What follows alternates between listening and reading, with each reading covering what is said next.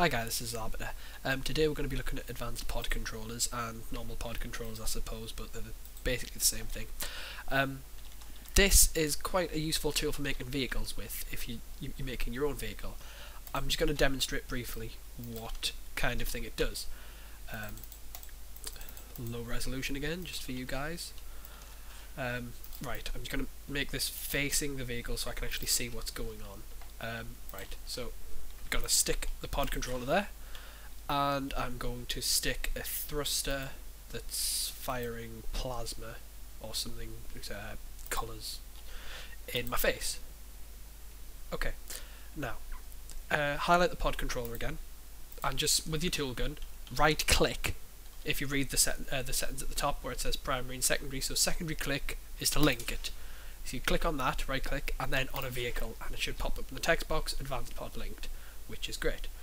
Then, when you highlight an input on a thruster or something, hot thruster, hoverball, any gate, and then if you wire it up to the pod controller, you get a list of outputs. These are uh, respective on your keyboard, so obviously at the moment it says W. So if I wire that up, then sit in the chair, you can see that the light has gone green, meaning the advanced controller is active, and then if I was to hold W, there, it's firing the thruster in my face, which is great. and that is essentially how an advanced pod controller works. Inputs. So, I'm going to make a vehicle just to show you what kind of things you can do with an advanced pod controller. Since I've got 10 minutes on a video, I shall hopefully try and do this as quickly as possible. Uh,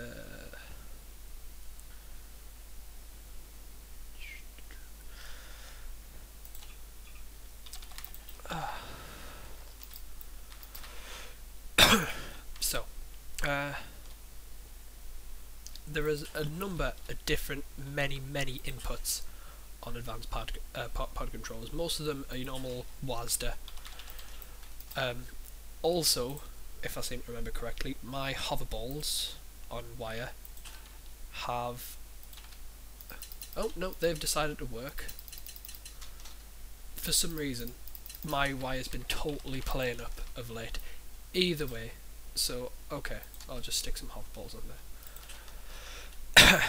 right, unfortunately, with advanced pod controllers, their outputs, although on a normal pod controller you can set the values of on or off, these one, the, the advanced pod controller only does ones and zeros, one for when it's on, and zero for obviously when it's off.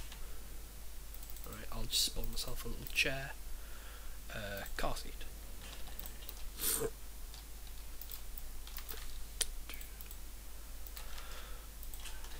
Easy weld if you don't use this you should. It basically just you weld it on something and you weld it on somewhere else and it automatically snaps to where it is you weld it to. So link them up. Okay. Now we're going to add some thrusters. So I'm going to have two thrusters on the back. I'm going to make them um, well no effects. I'll put, I'll put jet flames on. Make them bidirectional. I'll put the force on maximum because I'm insane like that. So Right, there we go. and I'm going to put two on the sides, but then obviously not going to be as powerful because that would make my my flying vehicle spin out of control. Right. Now, as I said in my first tutorial, I'm putting them on the front left and back right so that they rotate clockwise, or anti-clockwise depending on what happens. Now then, as I said, they only receive ones and zeros as their inputs. So what I'm going to do is, to make it go forward and backwards, I'm going to use an add gate.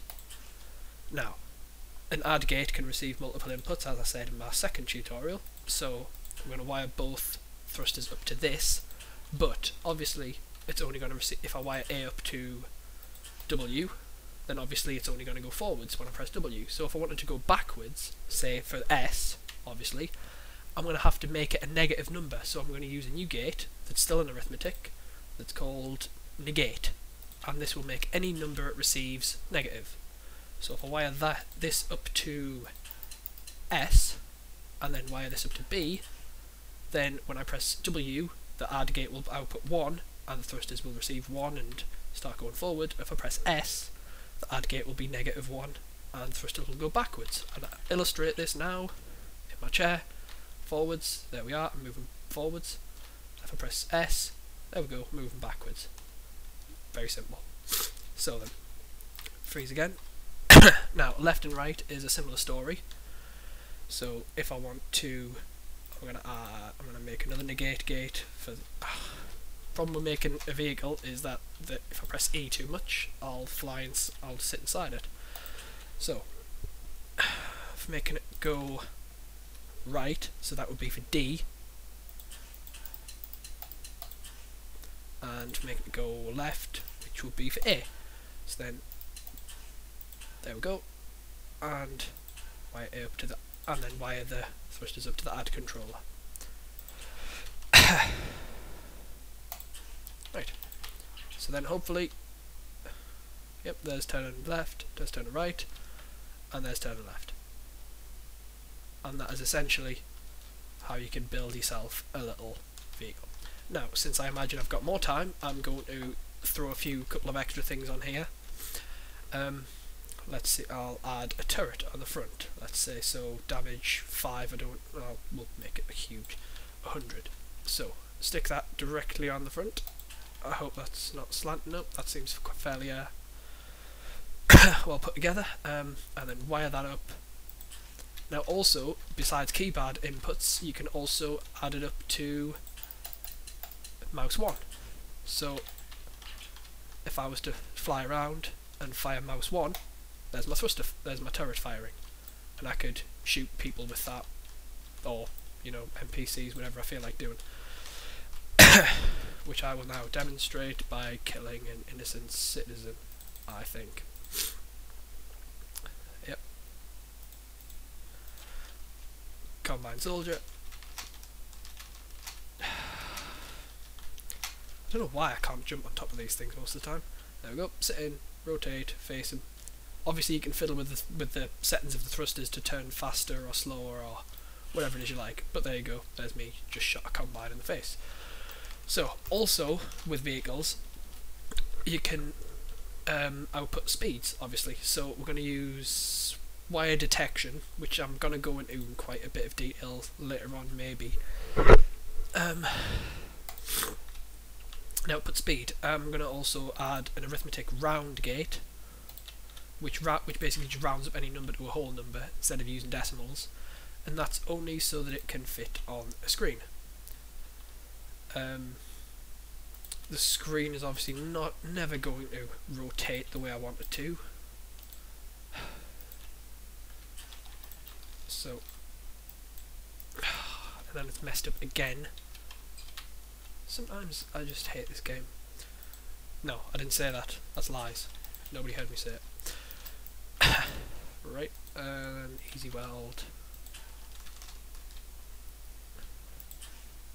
Nope, just just go sideways again, I don't mind. Okay, and then wire that, that up. So the value of the screen is the round gate, and the value of the round gate is... I'm going to put it in miles per hour. You can cycle through the outputs on a speedometer to give you miles per hour or whatever you like. And this will output the speed we're going. As you can see at the moment it's 1 because I just threw the thing. So when I go forwards, it's going to pick up speed. So at the moment we're going at 4 miles an hour which is great. Five miles, ooh, fast. and that's basically how a speedo would work. So now you have the basics of a, well, advanced pod controller vehicle. Um, beware though, because anybody who sits in this seat, if you're on a server that doesn't really have prop protection or anything like that, or you've got prop protection buddies or something like that, anybody who sits in this seat can use it. This is a curse and a blessing in its own regard. So they can just press whatever they want on their keypad on the keyboard in respect to this and it'll work. And that's the basics of it. Um, go away and do with it what you like. Bye